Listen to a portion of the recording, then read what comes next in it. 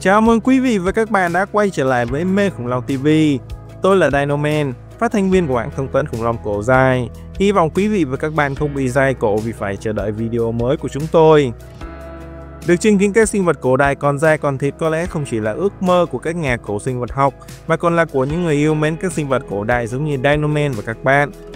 Nhưng trong khi chờ đợi công nghệ tương lai có một bước đột phá giúp chúng ta hồi sinh các giống loài đã tuyệt chủng từ lâu, gần như sẽ không có cách nào khác để đáp ứng ước mơ đó của chúng ta, ngoài trừ cách duy nhất là tìm được xác ướp đóng băng của những sinh vật này trong các lớp băng vĩnh cửu đang bị tan chảy.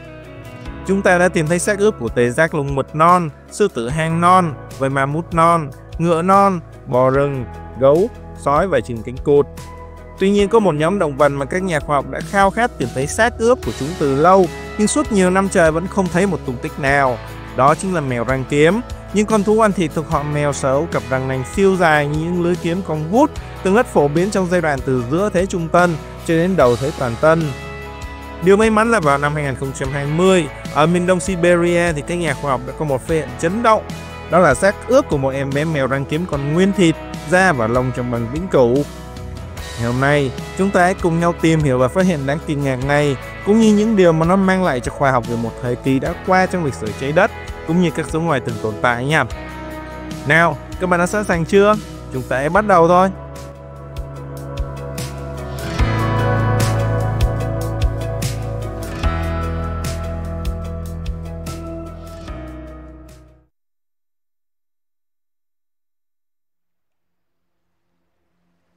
Cách đây đúng một tuần, vào ngày 14 tháng 11 năm 2024, trên tập san khoa học Scientific Reports, các nhà nghiên cứu do tiến sĩ Lopatin, nhà cổ sinh vật học thuộc Viện Cổ sinh Borisiak, Viện Hàn lâm khoa học Nga đứng đầu đã chính thức công bố phát hiện tuyệt vời của họ diễn ra cách đây 4 năm. Đó là sơ ướp đóng băng của một con non thuộc loài mèo lớn, được tìm thấy trong lớp băng vĩnh cửu từ giai đoạn cánh tân muộn trên sông Bajarika ở đông bắc Yakutia, Nga. Nghiên cứu về ngoại hình của mẫu vật này cho thấy sự khác biệt đáng kể so với một con sư tử con hiện đại cùng tuổi ở hình dạng bất thường của mõm với miệng mở rộng và tay nhỏ, vuông cổ rất to, chi trước kéo dài và màu lông sẫm. Phân tích các lớp sọ của xác ướp đã tiết lộ các đặc điểm đặc trưng của phân họ Machairodontinae và Chihomotherium, xác nhận rằng đây là một con non thuộc Chihomotherium, Chim mèo răng kiếm sống cách đây khoảng 4 triệu cho đến 12.000 năm trước, là một trong những thành viên cuối cùng còn sót lại của phân họ Macarodontinae, cùng với chim nổi tiếng hơn là Smilodon. Homotherium từng cư trú trên một địa bàn khá rộng lớn, kéo dài từ châu Âu sang Bắc Mỹ, xuống đến châu Phi và thậm chí có thể là cả Nam Mỹ nữa. Chim mèo lớn này có thể đóng vai trò như một loài săn mồi đầu bảng trong các hệ sinh thái nó từng sống, với kích thước tương đương sư tử ngày nay. Homotherium sở hữu cặp răng nanh dài hình lưỡi kiếm của phân họ Machairodontinae, nhưng so với Smilodon thì cặp răng nanh của Homotherium ngắn hơn và do đó giữa chúng có thể có sự khác biệt về mặt sinh thái. Homotherium có thể thích nghi để săn đuổi những con mồi lớn trong môi trường mở và một số loài trong chi này có thể có hành vi săn mồi theo nhóm. Quay trở lại với phát hiện của các nhà cổ sinh vật học nghe. Phân tích đồng vị carbon cho thấy mẫu vật này có niên đại khoảng 31.800 năm và do đó thuộc giai đoạn cánh tân muộn. Dù không được nguyên vẹn 100%, nhưng xương ướp bao gồm phần trước của cơ thể và đầu cũng như xương từ hông và chân sau. Lupatin cùng các cộng sự ước tính, nếu có cơ thể hoàn chỉnh, toàn bộ con vật sẽ dài khoảng 35cm. Mẫu vật Homotherium non này là mẫu vật mới nhất trong danh sách các loài động vật tục thế cánh tân, được khai quật từ lớp băng vĩnh cửu ở Siberia. Nhiều trong số đó đã được công bố trên các phương tiện truyền thông nhưng chưa được nghiên cứu khoa học đầy đủ. Khi so sánh răng và xương của con Homotherium non với những con sư tử con hiện đại, Lopatin và các đồng nghiệp ước tính rằng nó đã 3 tuần tuổi khi chết. Ngoài ra nó cũng có nhiều khác biệt nữa so với các họ hàng hiện đại của mình. Đầu của nó ngắn và tròn, tròn hơn cả sư tử con. Tai của nó cũng tương đối tròn và nằm cao ở trên đầu. Cổ dài và dày hơn so với sư tử. Điều này xác nhận các kết luận trước đây dựa trên giải phẫu xương cổ của mèo răng kiếm. Một câu hỏi đã tồn tại từ lâu là răng nanh của các loài mèo răng kiếm có thể nhìn thấy như thế nào khi còn sống. Và một giả thuyết gần đây cho rằng môi và da xung quanh hàm sẽ che giấu cặp răng nanh khi miệng đóng lại.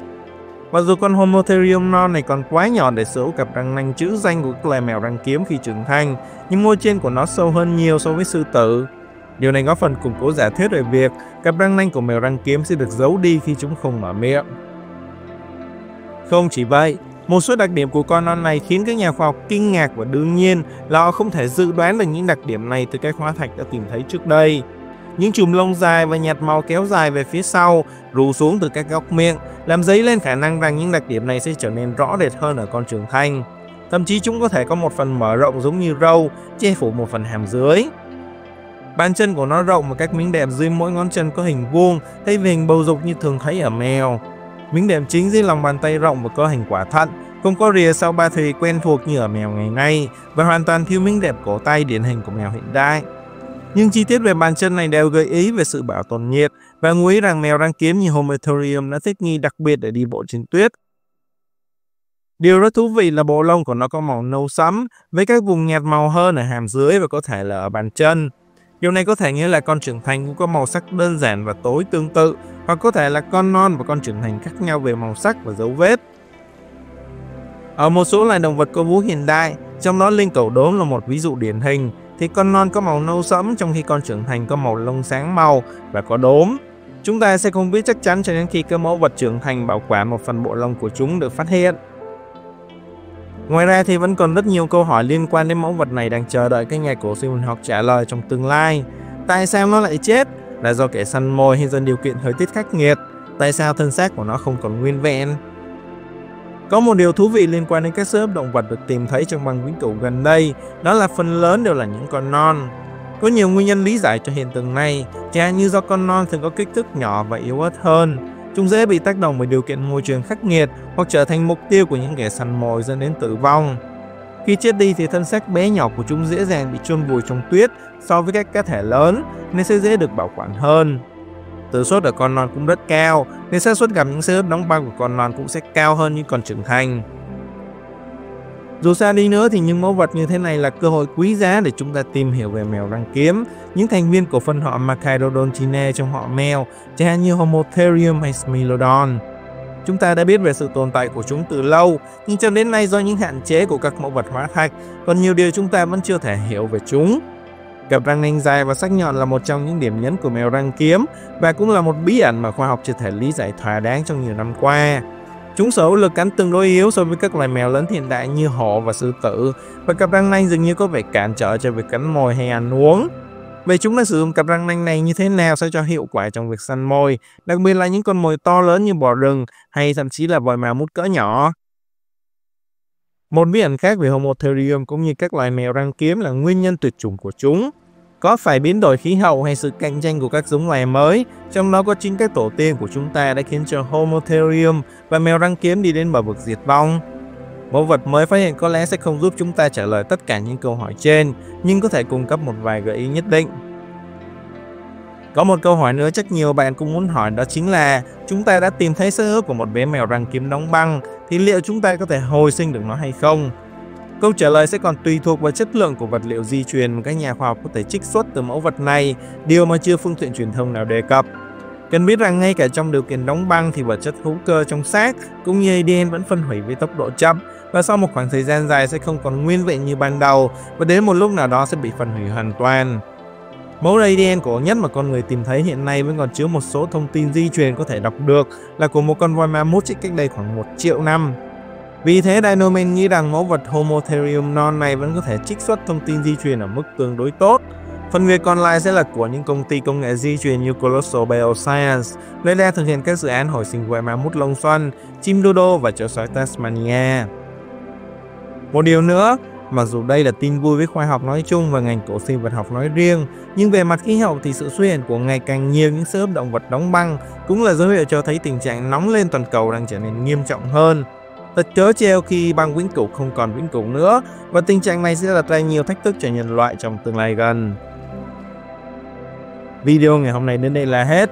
Mê Khủng Long TV xin chân thành cảm ơn sự theo dõi của quý vị và các bạn. Nếu thấy video hay thì đừng quên tặng cho kênh một đăng ký, cũng như theo dõi để cập nhật video mới trong tương lai nha. Còn bây giờ thì xin chào và hẹn gặp lại các bạn trong những video tiếp theo của Mê Khủng Long TV.